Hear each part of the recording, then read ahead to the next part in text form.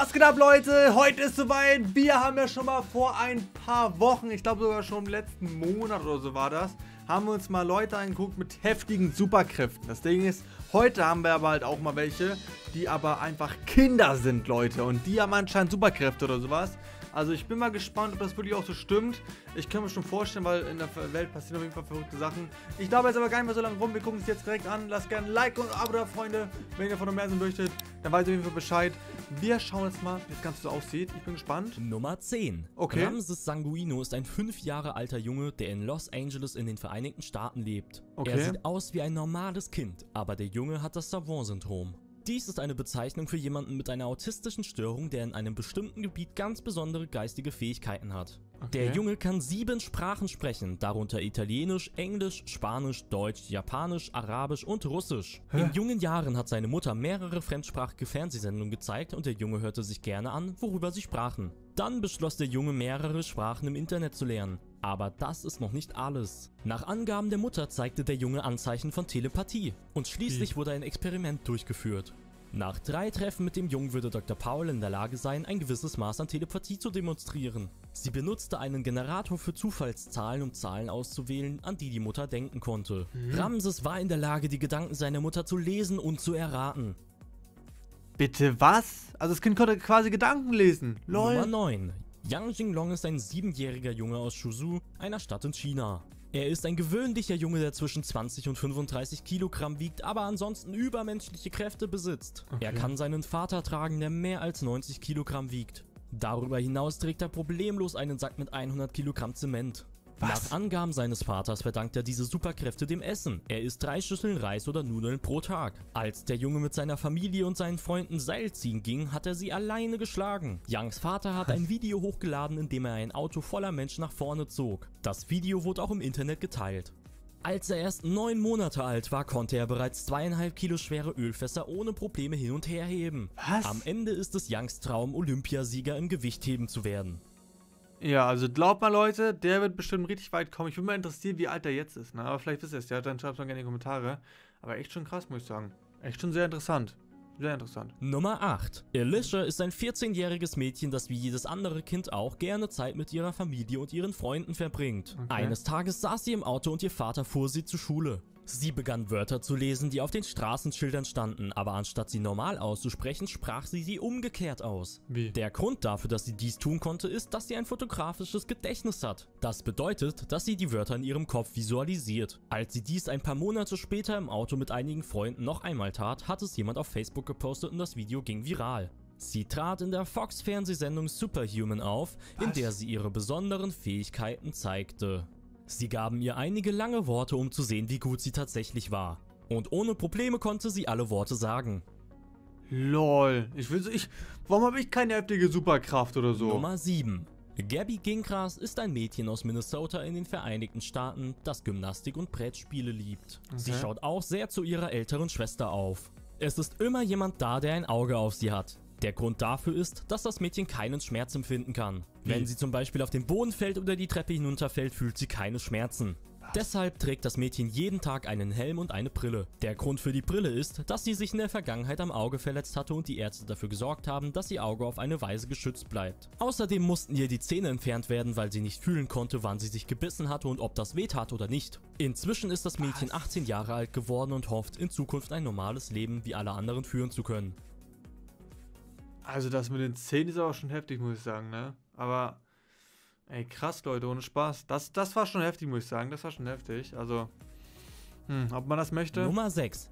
Nanandan Unikrishnan ist ein neunjähriges autistisches Mädchen aus Indien mit einer besonderen Gabe. Sie kann die Gedanken ihrer Mutter lesen. Am Anfang war es für ihre Mutter schwierig, dem Mädchen zum Beispiel beizubringen, eine Kaffeetasse zu benutzen.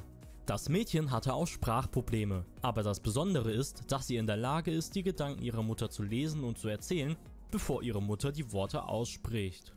Und wenn die Familie als Überraschung irgendwo hingehen möchte, weiß das Mädchen dies, bevor sie es ihr überhaupt sagen. Tja. Eine Reihe von Wissenschaftlern und Journalisten waren bei ihr zu Hause, um zu sehen, ob die Geschichten wahr sind. Und es stellte sich heraus, dass sie tatsächlich die Gabe hatte, die Gedanken ihrer Mutter zu lesen. Selbst als man die Mutter in ein anderes Zimmer gebracht hatte, gelang es ihr, die Worte oder Gegenstände, die ihre Mutter aufgeschrieben hatte, immer wieder zu beschreiben. Was? Ey, okay, das, das halt, das ist so krass, Alter. Das ist so krass. Nummer 5. Möchtest du dich an Dinge erinnern, die du während deiner Kindheit und in der Vergangenheit getan hast? Wenn man älter wird, vergisst man viele Momente. Ja. Aber das ist bei dem elfjährigen Aurelien Heyman nicht der Fall. Er erinnert sich unglaublich detailliert an alles, was in seiner Vergangenheit passiert ist. Er konnte sich daran erinnern, was er gegessen hatte, welche Kleidung er trug und welche Lieder er im Radio hörte. Im Was? Jahr 2012 wurde er in einem Dokumentarfilm von Channel 4 mit dem Titel Der Junge, der nichts vergessen kann, gezeigt. Du wirst dich fragen, wie das möglich ist. Der Junge hat ein sehr autobiografisches Gedächtnis namens Hyperthymesia.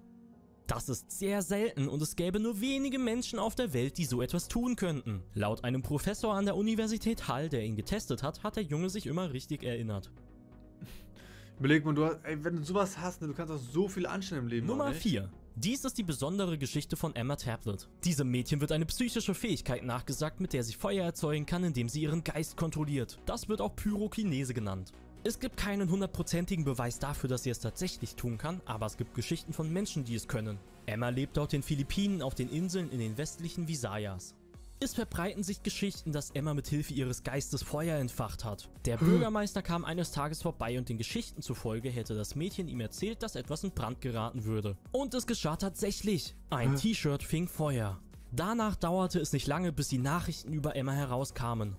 Alles, was sie machen musste, war das philippinische Wort für Feuer zu sagen. Wir haben keine Ahnung, ob das wirklich wahr ist, aber es könnte sein, denn hin und wieder geschehen Wunder.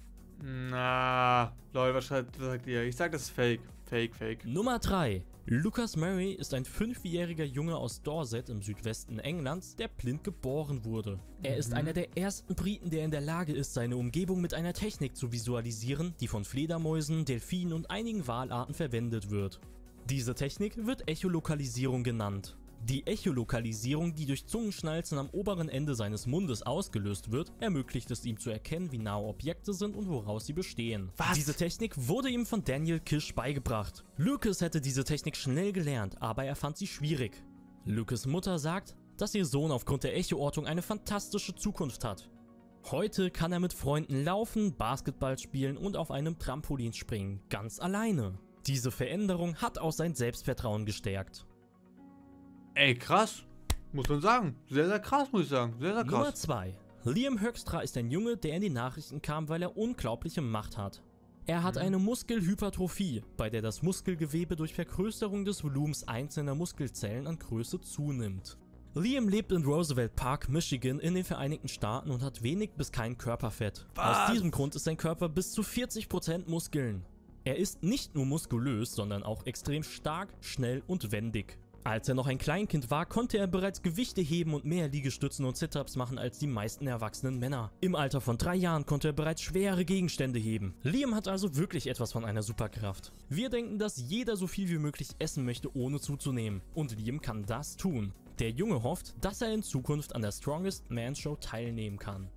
Ey, er kann einfach so viel essen, wie er möchte. Ohne zuzunehmen. Lol, wie krass ist das, bitteschön? Nummer 1. Nong Yuhui ist ein Junge aus China, der 2012 in den Nachrichten war, weil er Katzenaugen haben würde. Er wurde mit besonderen blauen Augen geboren. In China sind die Augen der Menschen normalerweise dunkel. Seine Eltern haben auch braune und schwarze Augen, aber das ist nicht alles, was den Jungen besonders macht. Seine Superkraft besteht darin, dass er in völliger Dunkelheit sehen kann. Er kann zum Beispiel in völliger Dunkelheit Bücher lesen und in einem stockdunklen Raum ganze Fragebögen ausfüllen. Wie? Für viele Wissenschaftler ist das ein großes Rätsel und sie haben keine Ahnung, wie es möglich ist. Die Eltern des kleinen Jungen waren dadurch besorgt und erlaubten Ärzten Untersuchungen durchzuführen. Es stellte sich heraus, dass er besonders lichtempfindlich ist. Seine Augen sehen sogar grün aus, wenn sie mit einer Taschenlampe beleuchtet werden. Die Ärzte gehen davon aus, dass sich seine Augen wieder normalisieren werden, aber das ist noch nicht geschehen. Ey, überleg mal, du hast einfach so eine Augen und kannst da irgendwas ausrauben, wo es da komplett dunkel ist. Sagen wir, du stellst den Strom irgendwie ab und kannst einfach irgendwas ausrauben mit deinen Augen. Okay, ich denke auf jeden Fall schon wieder zu heftig, Leute. Aber das war auf jeden Fall wieder sehr, sehr interessant. Lasst auf jeden Fall gerne ein Like und ein Abo da, wenn ihr von sowas mehr sehen möchtet, Freunde. Ich würde sagen, checkt die beim Videos hier aus. Dann sehen wir auf jeden Fall wieder morgen wieder. Und haut rein. Bis zum nächsten Mal. Ciao, ciao.